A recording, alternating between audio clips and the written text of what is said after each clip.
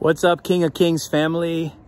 This is Ryan. I'm standing here right now um, in ancient Ephesus. And I am here at the church of Ephesus, the first church uh, that Jesus wrote to in the book of Revelation. And this place is so special because this place really was an early apostolic center, much like King of Kings is now. It was, uh, it was started and planted really by the Apostle Paul and then he set Timothy in place. But behind me uh, is the, uh, if you can see it there, uh, off in the distance is the actual theater, amphitheater, where Paul was arrested and where the riot happened, where the Ephesians were saying, Great is Artemis of the Ephesians. And uh, that happened right behind me there.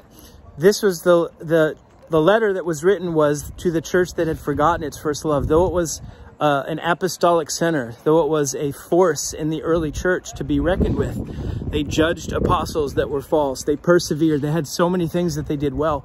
The letter was that they had forgotten their first love.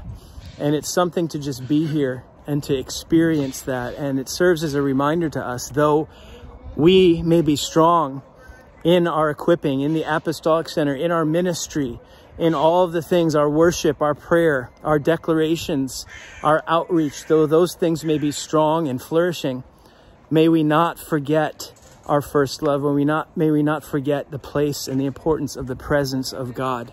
So from Ephesus, I love you guys. I hope everything is well. And um, it's just amazing to share this with you.